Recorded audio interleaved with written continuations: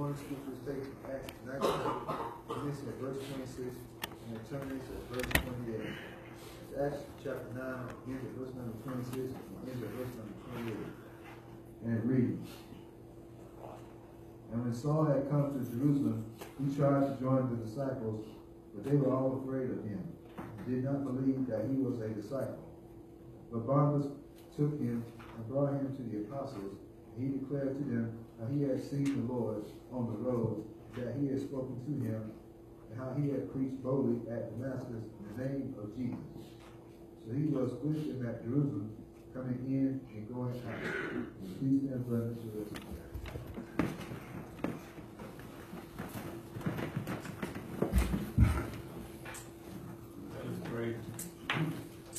eternal God, Heavenly Father, we bow this morning just acknowledging your greatness, knowing that you're God and besides you there is no God. Right. God, just thanking you for another day. We realize that it's because of you that we're still numbered among the living, and we're just grateful that you woke us up this morning and started us on our way, Yes. enable us to come together to share in another worship service. Right.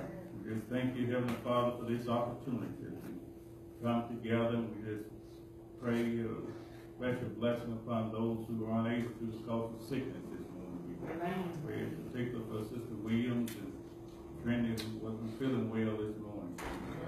Pray you bless them and able, able them to be able to come at the next appointed time. We pray for all of those who are sick, those that's already been named, those who've been sick for some time, we pray that you will bless them with good health and allow them to experience relief from the pain. We vow this morning just uh, praying for those who were victimized by the inclement weather. We just pray bless them to overcome the difficulties that they've experienced, and we just pray that all will be well with them.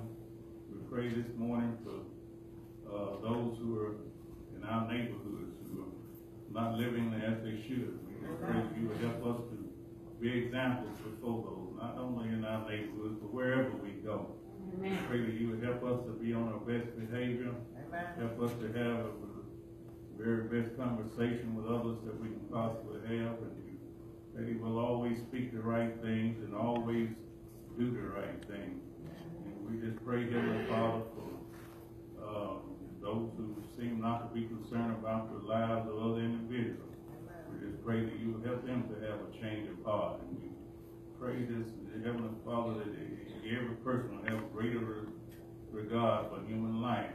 And we pray that you would uh, allow love, unity, and peace to prevail throughout the land and country, throughout each home represented here today.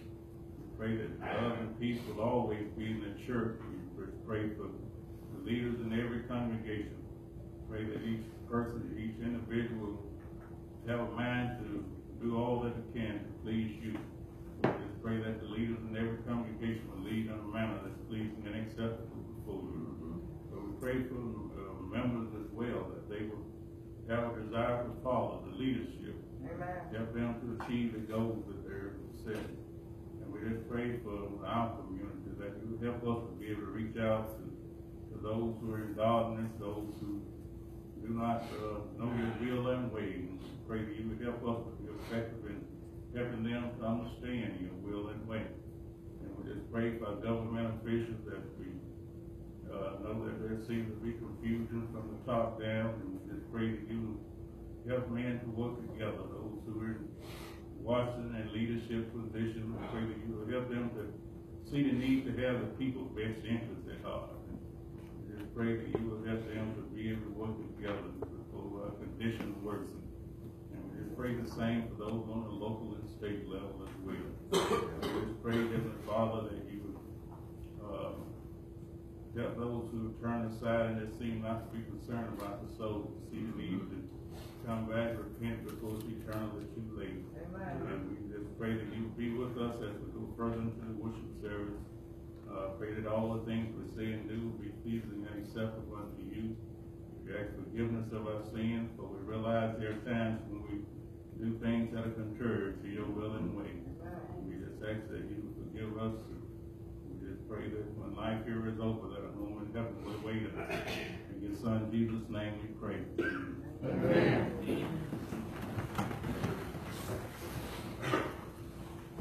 Good morning. Number forty-nine. Number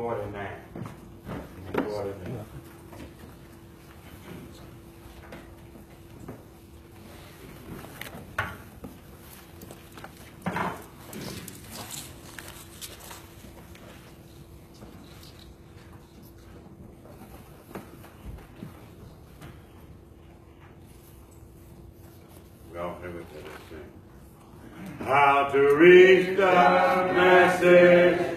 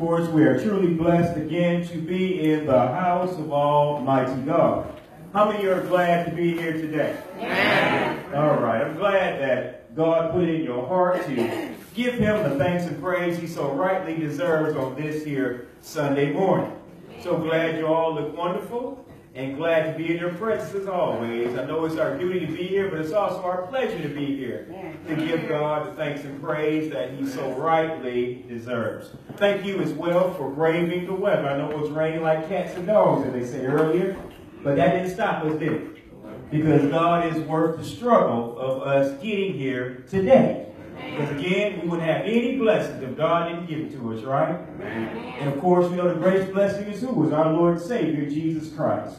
Who suffered, died, and rose again, that we may have eternal life. I know it's a silly way of saying it, but I'd rather be a little cold and wet than hot, if you know what I'm talking about. Amen. When all is said and done. It was so interesting that our lesson today with the kids in uh, the elementary Bible school class, Revelation 20, 11 to 15. Well, they know that your name has to be written in the book of life Man. in order not to go to H-E double hockey sticks, also known as the lake of fire.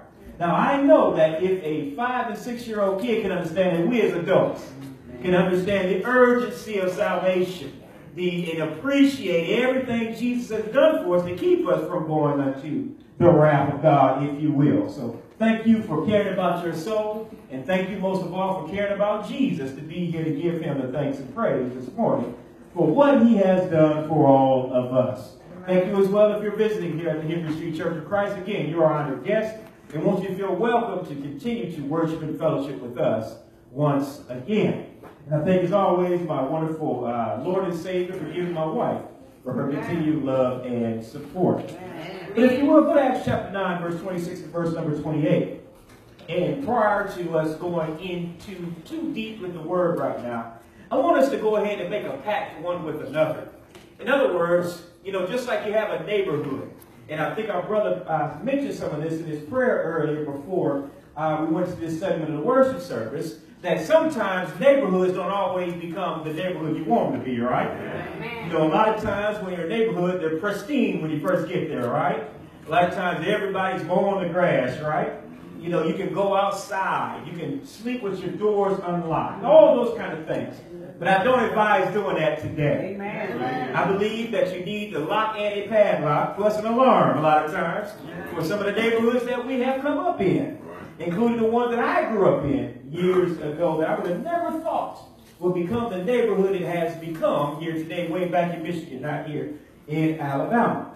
But what you have to do, if you notice something, in many of these neighborhoods, you have to have a neighborhood watch, don't you? In other words, you have to assemble a team Uh, in order to try to keep the vandals, to keep the criminals out of breaking into houses. And so if you can understand that your neighborhood and your home is precious, can you understand that the church itself is precious? Amen. And this morning, let's make all a pact together in order to band together as one church, in order to be a neighborhood watch for the health of the church.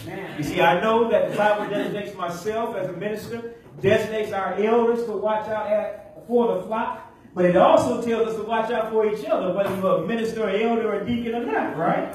In Galatians 6, chapter number 1. So I'm trying this morning to assemble the team to be a neighborhood watch against gossip. Can we do that here today? Can we make a pact in order to try to keep that criminal, that vandal out of the church, if you will? That's what we're going to be talking about here in a moment here. Let's go to Acts chapter 9 before I get ahead of myself. Verse 26 to verse number 28. And I'm going to be reading it from the King James Version.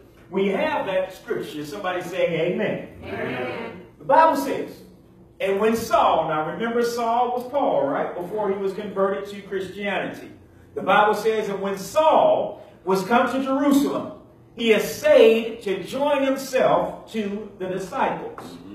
But they were all afraid of him and believed not that he was a disciple. The next verse says, But Barnabas took him and brought him to the apostles and declared unto them how he had seen the Lord in the way, and that he had spoken to him, and how he had preached boldly at Damascus in the name of Jesus. Right. Verse 28, our concluding verse says, And he was with them, coming in and going out at Jerusalem. So again, that's the springboard scripture, the scripture to get us started out of Acts chapter 9, verse 26 to verse number 28. You've already answered the question that we're going to assemble as a neighborhood watch for the church. But let me ask you another question, which is really our subject here today. And it's simply a challenge to my heart and your heart. When are you going to start sticking up for your brother? When are you going to start sticking up for your brother? Mm-hmm. As many of you know, let's back up for a moment and get the context of Acts chapter 9 in which we just read. Many of you are familiar, but suffer a little repetition for a moment for those that are not familiar with the story. How many of you remember that Saul was a bad boy before he became the Apostle Paul? Again, he would have been one of those type of people that if you just went through a carnal mind, a worldly mind instead of a spiritual mind, you would have come to conclusion because of his lifestyle that this is somebody God ain't concerned with. This is somebody that God could never have within his fold. This is definitely not somebody that ever called Jesus his Lord and Savior. Why, if you're not spiritual, would you come to that conclusion? Well, his track record wasn't very good, John. Think about it this way. When you look at Acts chapter number 7, remember when Paul was part of that angry mob, he consented to the death of the Christian martyr Stephen. Y'all remember that when those boys were ready to stone Stephen unto his death, the Bible says that Paul held the clothes of the men that were going to stone him. You see, in those days, people were desperate for clothing. So they would come up upon clothing any way they could. And so when you look up the original Greek language, that said that he held the clothing. What it means in its context is that he was holding the clothing of the men so they didn't have to worry about nobody stealing their garments as they pelted Stephen to his death with the stones. And so not only was uh, uh, uh, Paul a person that can, in other words, gave his vote, would have been one of the ones shouting, kill him, Take him off the face of the earth. Get rid of this man. He was also one that what I call an accessory to murder.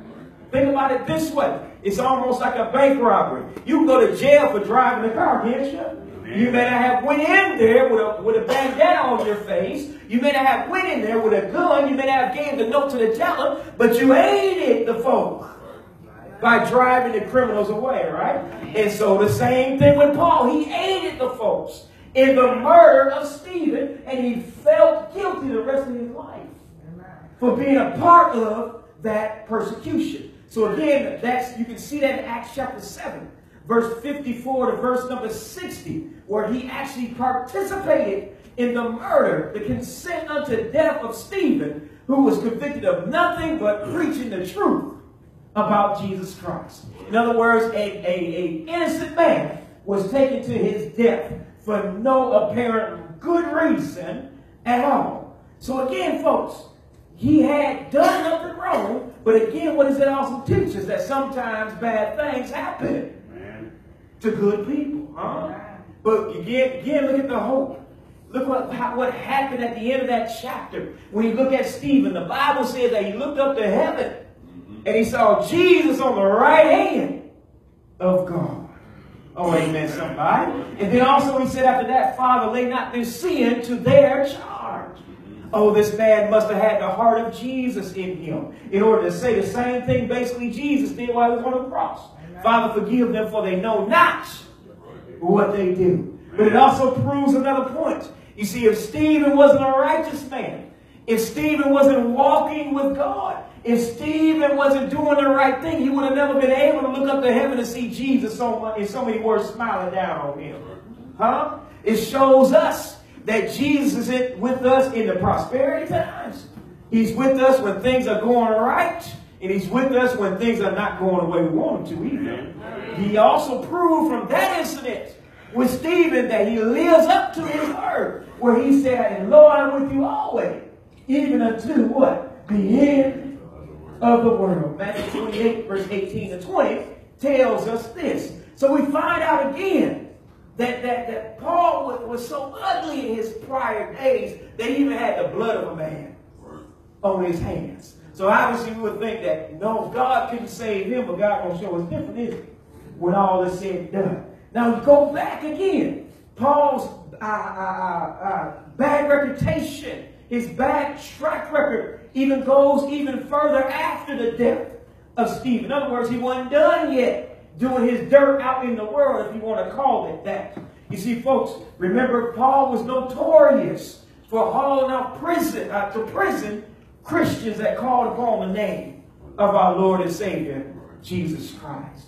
So in other words, if this was today, people would be in fear that Paul would be coming through the door. Because Paul was so bad, he was like one of them old bad kids. Y'all grew up in one of them neighborhoods. That somebody was so bad that they would come to your house and try to whoop you too at your house.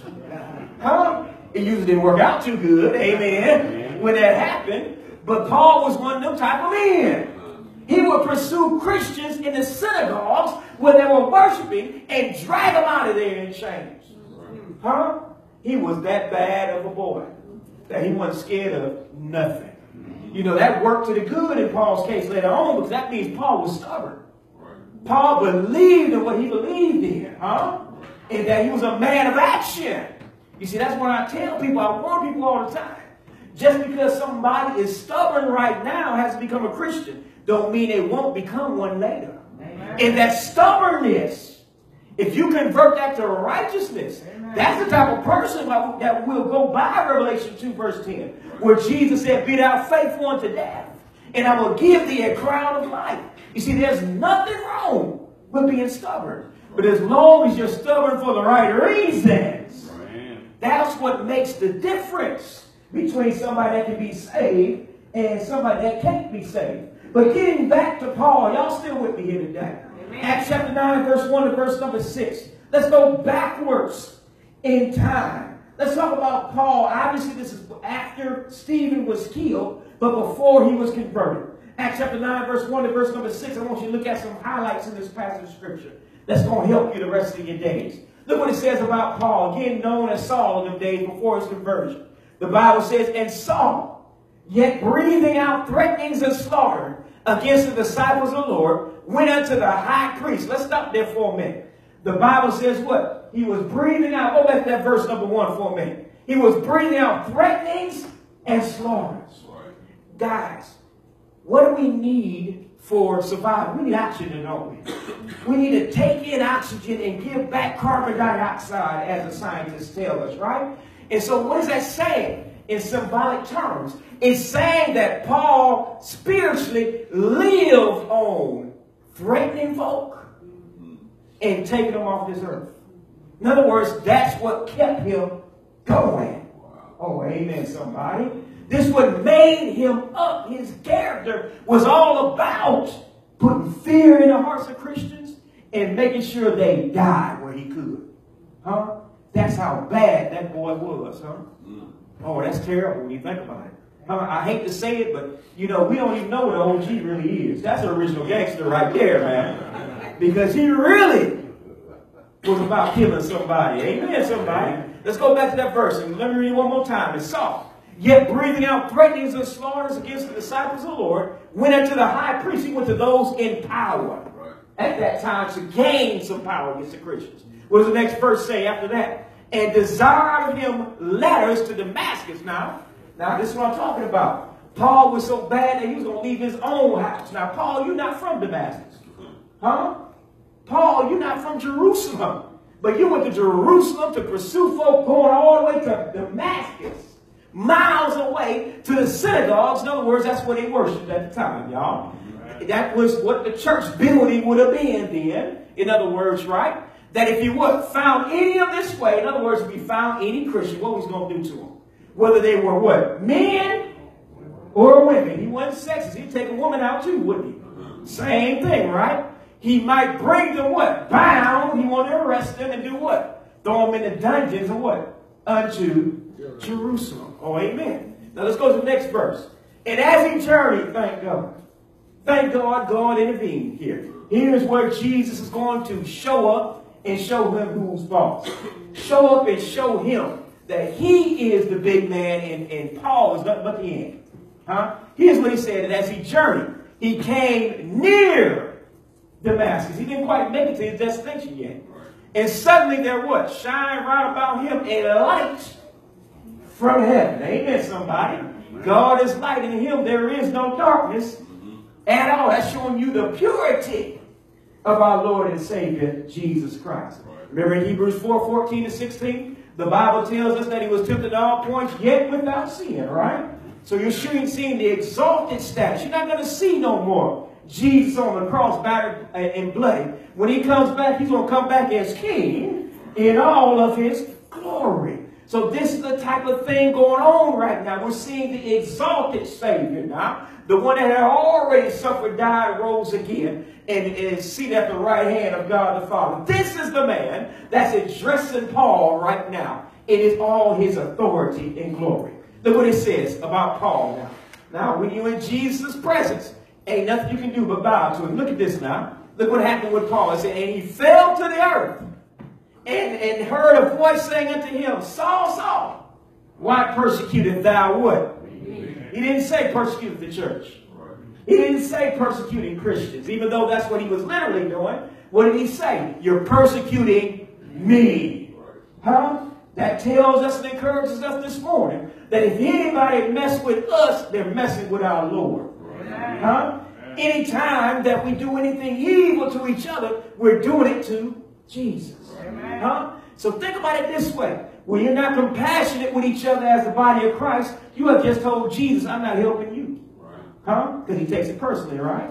If we lie on each other, we sabotage each other, if we cheat each other, what do we just do? We have done it unto Jesus himself. He said, We have done these things in Matthew chapter 25, in, in 31 and 46. We have done these things to the least of these, my brethren. You have what? Done it unto me. That's why when I get to the judgment day, I want Jesus to be to sit back and say, if I help Brother Terry, thank you for helping me. Huh? I want Jesus to be saying to me that, that if I, I, I honored my marriage unto my death, I want him to say, you are faithful to me because you are faithful to your wife. Because my wife is also my sister in Christ, ain't she? So whatever I do to her, oh, I hope y'all got the, y'all quiet on that one there. Whatever I do to my wife, or whatever you do to your husband, sisters, guess who you're doing it to? Jesus the Christ. So if you hit me, she hit me upside my head with a frying pan, she gonna put a knot on Jesus' head. I'm gonna say that next time she get angry too, amen. So I get out of trouble, amen. If you know what I'm talking about here today. Now here, go to the first five back in all our seriousness now. Going back to the encounter of Jesus and Paul, the, the uh, future apostle at that time. It says, and he said, Who art thou, Lord? Paul is addressing Jesus. And the Lord said, I am Jesus whom thou what? Persecuted. In other words, he repeated himself, right? You're hurting me, right?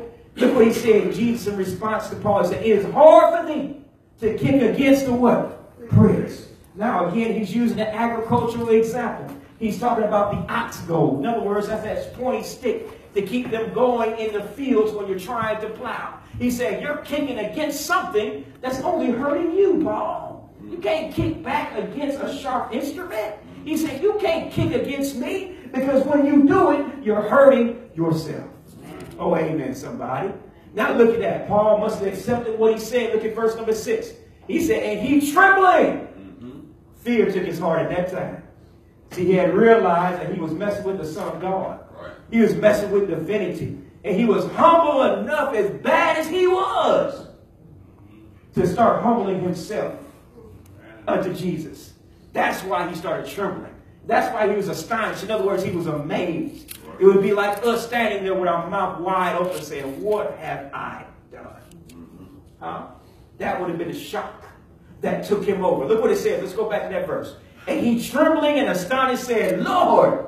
Now notice what he said. He said, Lord. He was accepting the fact at that point that Jesus is and was what? The Messiah.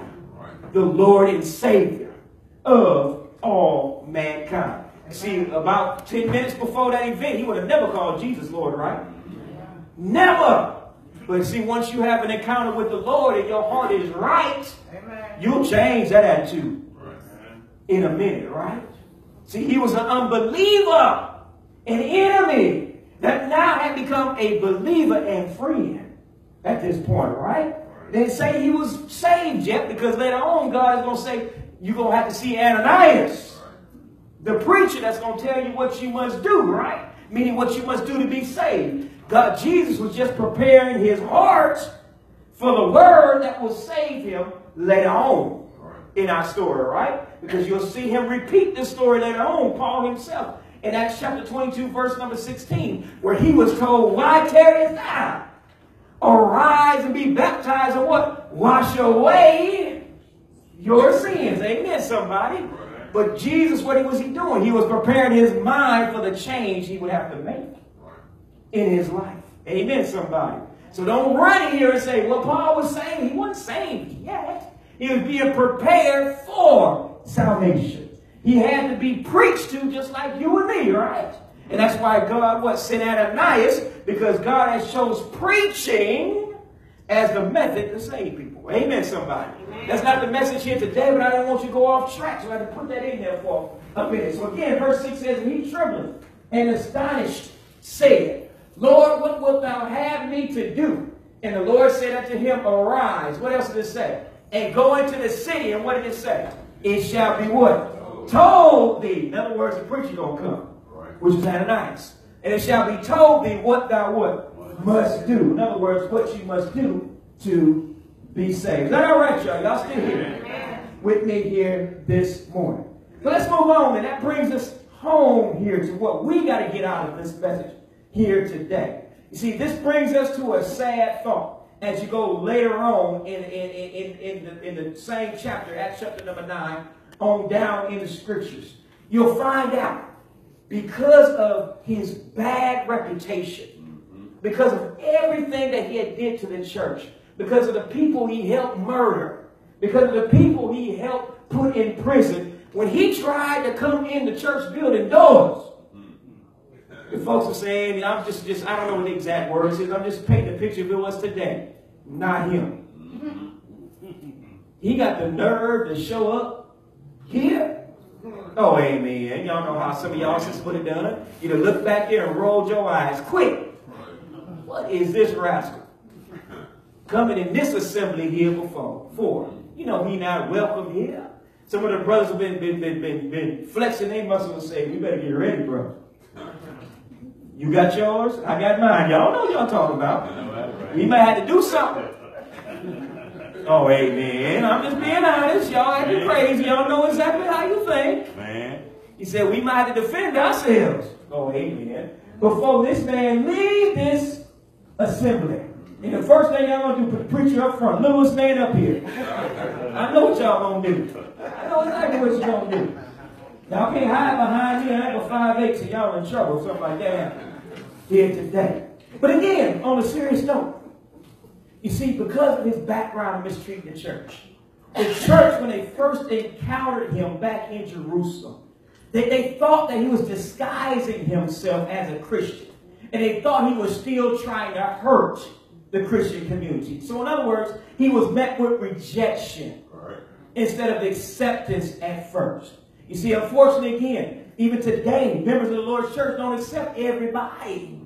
And we'll get in our head and try to get, you know, people try to get in your head and make you think the same way. Oh, amen, somebody. I, I remember a long time ago, a relative of mine, maybe about 16 years ago, he was baptized. And his brother gonna tell me, I don't know what he did that for? I know he just playing. I know he can't be serious about this. But you know what? 16 years later, that man, you can't keep him out the church building. Huh? Yes, he came from an ugly background. Yes, he did some things in the street I can't even repeat here. I know his background. I know he did all kind of dirt in the streets for 50 years. But you know what? God can clean up anybody. Amen. If he cleaned up Paul, he cleaned up that man. He's one of the most faithful men in the flock that I have ever seen in my entire life. Similar background to Paul. Yes, accessory to murder. Oh, I'm being honest with you. All kind of drug and alcohol and all kind of issues. Womenizing things. But you know what? That's how much the blood of Christ is effective. And the word of God can change somebody. So don't look at people with prejudice. You gotta understand that some of the worst people make the best Christians.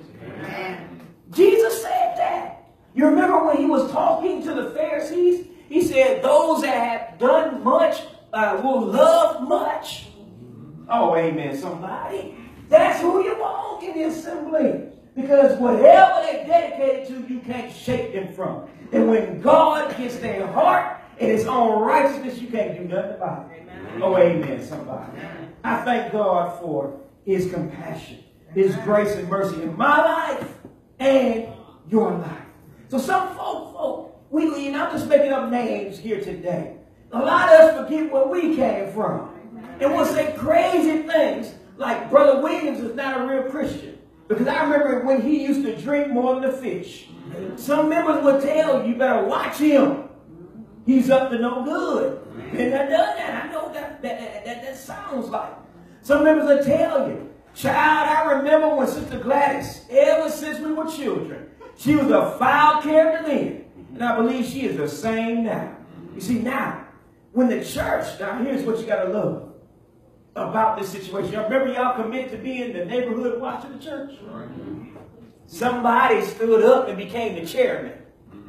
Oh, I'm, I'm talking in symbols here, y'all. The chairman was Barnabas. Oh, amen. Did y'all read that? Barnabas stood up for the apostle Paul. Huh? He took him to the apostles and he demonstrated with his, of his own eyes of what he saw Paul actually doing, not just saying. The Bible shows us when you go back to Barnabas as he was standing up for the apostle Paul, he went to the apostles that were already there at the church in Jerusalem. And he was showing them that Paul was a different man. This man now was a true brother in Christ.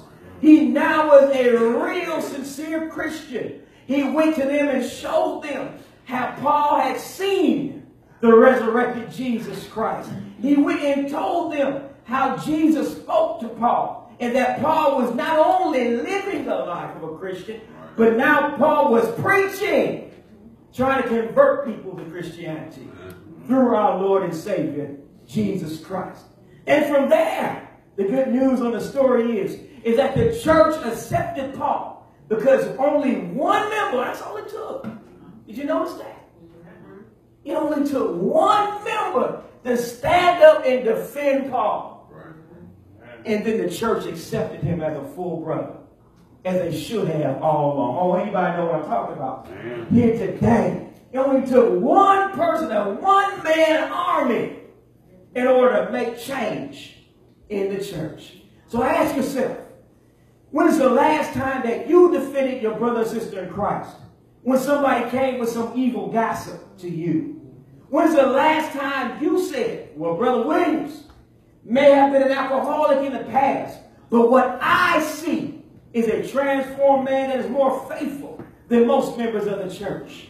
When is the last time you and I said, well, she used to be that way, but all that I see now is a devoted mother, a sincere Christian, and a woman that is not afraid to lift her voice in praise unto God as she uses her gift of singing to uplift the name of the Lord. I guarantee you that there will be more peace in the church universally, everywhere, if the members stop being jellybacks, I like to call them. In other words, cowards, and start standing up to the gossiper and say, if you're going to keep talking this way, you want to go talk to somebody else. I'm not here to receive all that negativity. You want to be negative to somebody else or to the wall. Or change, and I'll receive you again. Oh, amen, somebody. This is part of being the neighborhood watch of the church. That we got to send the gospel back in. Man. If he or she is not going to change. Oh, amen, somebody. And do the right thing. You see, again, when you're sitting back there and you're listening to that, symbolically speaking, you have become the accessory to murder. Man. Huh? Because anytime what? You help mess up somebody's reputation, right. you spiritually murder. Huh? Anytime you have become a hater yourself, the Bible literally says You are a murderer and there's no eternal life. Huh? That's waiting for you. You gotta stand up and tell somebody, I'm not listening to this mess. Oh, amen, somebody. Amen. And you got to keep that to yourself. You see, 1 Corinthians chapter 5, verse number 11. If we really do this right, here's what we're supposed to do. Now, 1 Corinthians chapter 5, verse 11 is actually uh, written to the church. And it's talking about internal church stuff. Huh? Look what the Bible says. The Bible is showing us overall that we can't be an anything goes church. You can't just let sin go and just turn your head as if nothing is happening. This is what Paul, through the Holy Spirit, is trying to tell the church. Don't you dare tolerate sin in the camp. Do something about it. Here's what he says. He says, But now I have written unto you to what? Not. You see that not there? Now he's talking about church members with church members. You got it? Look what he says. But now I have written unto you not to what? Keep company. In other words, don't you keep associating with folks that don't know how to act in the church. He says, if any man that is called a what? He didn't say a man of the world. So that tells you right there the context of the church, right? He said, if any if any man that is called a brother be a what? Fornicator, a player, in other words, trying to run through all the girls in the church, you know what I'm talking about. They'll be around him, right? Or what? Covetous, he's greedy, trying to always scam somebody, get away from him. The Bible says, or an idolater, in other words, he's trying to live two religious lives, right? He's trying to be a Christian and do yoga. Yes, I said that. He's trying to be a Christian and, and worship Buddha and any other kind of stuff. He says what? Or an idolater. What are you supposed to do? Don't keep company. He said what? Or a railer. That's the one you keep under your belt. That's the one we're really talking about. A railer means somebody that slanders other folks' name. It means a gossiper. He's saying what? With the gossipers, even in the church, what he say? Get away from them. Right? Or an extortioner or a drunkard, all them what? God said what? With such a one, know not what? To eat. Get away from them. Because why? What does God say the consequence is for you? He said evil communication does what? Corrupt good matters. You will become what you hang around. Oh, amen, somebody. So he's saying, get away from them. Otherwise, Satan got you both. If you don't repent on the judgment day. Well, I wasn't saying much on the phone. I was just listening. He still got you. Because why? You're keeping gossip going. Oh, amen, somebody. I think even a kid can understand what we're saying right here today. So God is bluntly saying, to summarize that, if someone is a railer, which means one that speaks evil about others, then do not associate with that person. You see, as long as the gossipers are allowed to gossip with us and speak evil of others, then there will remain drama in the church. There will remain drama in your life. Because if you don't know this by now, if they're talking about somebody else, they're talking about you too. Be smart enough to figure it out. Oh, amen, somebody. And as long as we continue to fellowship with gossipers, too many souls will be discouraged and walk away from Christ to their own eternal doom. As we come closer to wrapping this up, I'm almost off your toes this morning. Let's take in the idea that although we as Christians are to defend our brothers and sisters in Christ, the one being accused makes sure you're defendable. Oh, I don't think you got it. In other words, don't put nobody out on the line if you know you ain't right. Hmm. If you're not acting right, don't let nobody go out on a limb for you. Oh, amen, somebody. You see, some folks want to play that game. They'll throw the rock and hide behind the bush. I ain't doing it. Mm-hmm. Then they want somebody to defend them.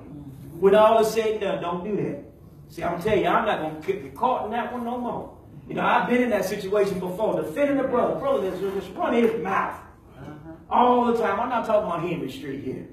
And, and, and, and, then he, I mean, he, we got hemmed up one time. For real. I'm talking about at a brother, a, a meeting, a whole bunch, of probably like 10, 15 of us in there. And they going off on the brother. Amen. And I'm sitting there like, no, y'all know y'all ain't supposed to be doing that.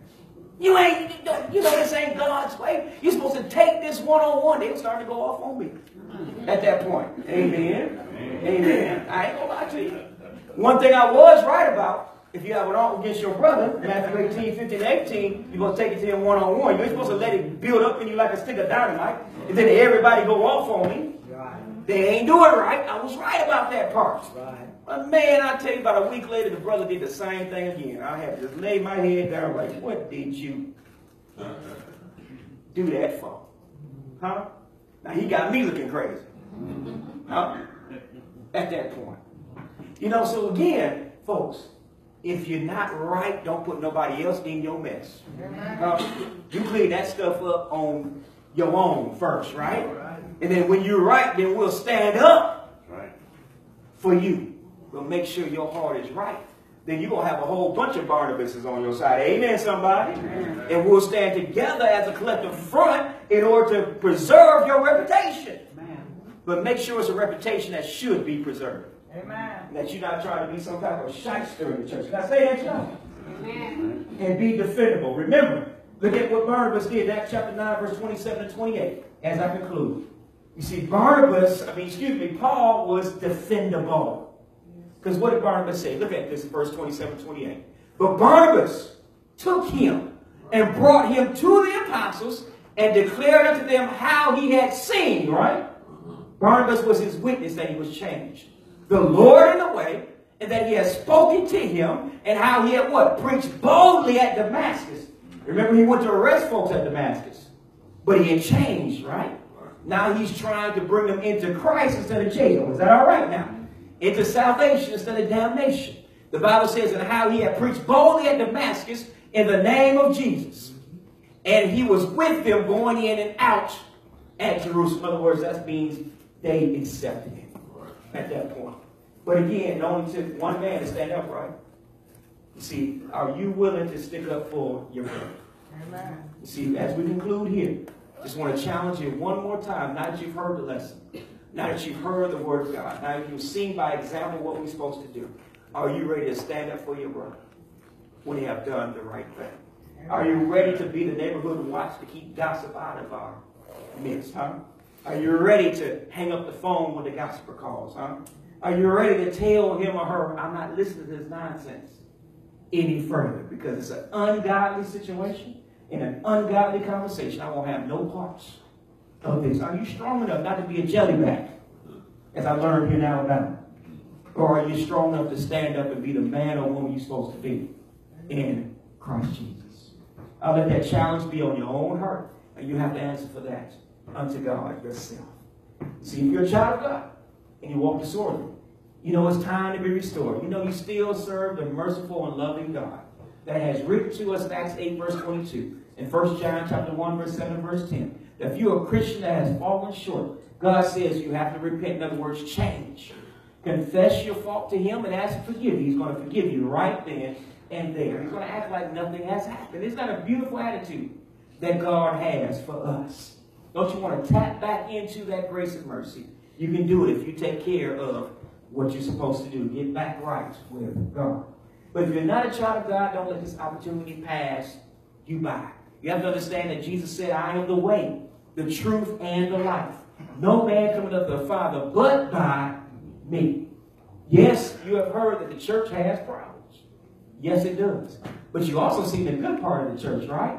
When God's word goes forward, they actually change. Is that all right now? There's no organization of anybody that you can go to that's perfect on this earth. Huh?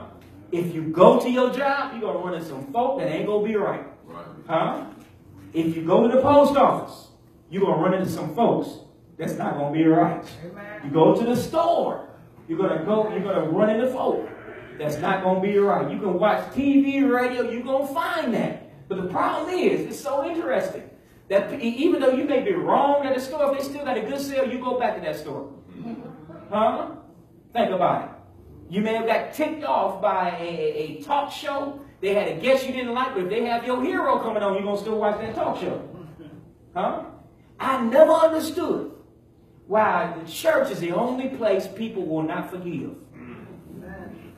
It's hypocrisy. Amen. It's hypocrisy. It's the only place you'll see on earth. If something happened, I'm, I'm gone. I ain't gonna deal with y'all no more. You see, you see, you still go to your job and get a paycheck even though everything ain't right there. Amen. Huh? See, but the difference in the church, think about it this way, is first uh, is Second Peter chapter one, verse five to verse number eight. God is always in the process of perfecting the church. Amen. In other words, the church is going to continue to get better. Your job will probably get worse. Huh? The stores are going to get worse. Television is going to get worse. Radio is going to get worse. You see, you have a better chance of being happy in the church than anywhere else. Amen. Despite, despite its faults. You have to understand something. Hebrews 12 is in the Bible for a reason. God says, don't despise the chastening of the Lord. In other words, God is our Father. And a good father is going to discipline his child Amen. from time to time. Because why? Not because he hates him, but because he loves him. Amen. Think about it this way. A good father is not going to just let you go out in the street and you and your parents, you don't know what you're doing because a car will hit you in a minute. So what he's going to do, he's going to grab you, he's going to spank you so you realize don't go past this boundary so that you don't get hurt. It's the same thing in the church. God is going to tell you some things that you want to hear. He's going to tell you some things that you don't want to hear. But in the end, they ser- both serve the same purpose to show you that he loves you. And he wants you to make it to heaven Amen. when all and done. So what do you got to do in order to be saved? God laid that down within his Bible. It's in several books of the Bible, but you have to put them all together to get the truth. You can't have half the truth and be saved. You got to have the whole truth in order to be saved. That's why Paul said, I have not uh, ceased, as I paraphrase it, to deliver unto you the whole counsel of God. In other words, you got to know everything in order to be saved. And what is that plan of salvation in its entirety? It's in Romans, starts with Romans 10, verse 17. That you got to hear the word of God. The Bible says faith comes by hearing, and hearing by the word of God. What is that word of God that God wants us to understand? Well, he starts in John chapter 3, verse 16 to keep it simple. He says, For God so loved the world that he gave his only begotten Son, that whosoever believeth in him shall not perish, but have everlasting life. Jesus continues. Now, that's not all the plan of salvation. He also talks about repentance. You have to understand something. Revelation 20, verse 11 to verse number 15 talks about being cast into hell as the second death. Jesus gives us a commandment in Luke chapter 13, verse 3 and verse 5 in order to, to avoid that second death. He says, You must repent, or you shall likewise perish. In other words, before you can be forgiven of your sins, before you can be saved, you have to make it up in your mind that you're going to live righteously and leave a sinful lifestyle alone. Then you have to, as a part of the plan of salvation, confess Jesus literally as the Son of God. In other words, Jesus on this earth wants you with your mouth. He wants you to take ownership of him. And when you do that, when you get to the judgment day, he's going to take ownership of you. You'll see that all over the passage of scripture. You'll see that Revelation, excuse me, Romans 10, verse 9 and verse 10, Acts 8, verse 37, Matthew 10, verse 32, and verse number 33 all show us we must confess Jesus as the Son of God, meaning our Lord, in order to be saved. But you can't just talk to talk, you got to walk to walk. Amen. You see, talking to talk is confession. Walking to walk is baptism. After that. Because that's also part of the plan of salvation. What does baptism do, do for you? God said it in several passages of scripture. He said in Acts chapter 22, verse number 16, we talked about it earlier. Why tarriest thou? Arise and be baptized and wash away your sins, calling on the name of the Lord. You see, when God sees you obeying him by going down in the water, that's when he decides to forgive you of all the sins you have committed in your life. And it also does another thing. Galatians 3, verse 27 says, Those that have been baptized have been baptized into Christ. Being in Christ is the same thing as being a member of the church. Being in Christ means you're a child of God. That's when you're added to the family of God. So you see two benefits right there of being baptized. You know, first it what? Washes away your sins. It adds you to the family of God and it also saves you, according to Mark 16, verse 16, where Jesus said, He that believes and is baptized shall be saved. He that believeth not shall be damned. You see, once you come out of that water, get out of that thing rejoicing. Just like the Ethiopian eunuch in Acts chapter number 8, knowing that the grace and mercy of God has been put in your life. You have been showered, showered that is, with forgiveness. You have been given the greatest gift on earth of salvation at that point. And you got to stay faithful unto death after you become a Christian. Revelation 2, verse number 10 completes the plan of salvation. Where Jesus said, Be thou faithful unto death, and I will give thee a crown of life. Faithful means stay committed to what you started. Keep believing, obeying everything until the end of your life. And heaven's going to be your home at that point. What we do to give you an opportunity to be saved is just sing a song. The song is not designed to save you, nothing like that. The song is to give you an opportunity to come down that aisle. Give me your hand and guard your heart. And we'll ask you that simple question. Do you believe that Jesus Christ is the Son of God? And we'll go down in the water together. Or you go down your old self, but you'll rise a new creation. All your sins will be washed away. You'll be added to the family of God. You'll be saved if you stay faithful unto death. Won't you come? Let's together we stand and sing the Lord's invocation. Won't you come? Lovely and tender, Jesus is calling, calling for you and for me.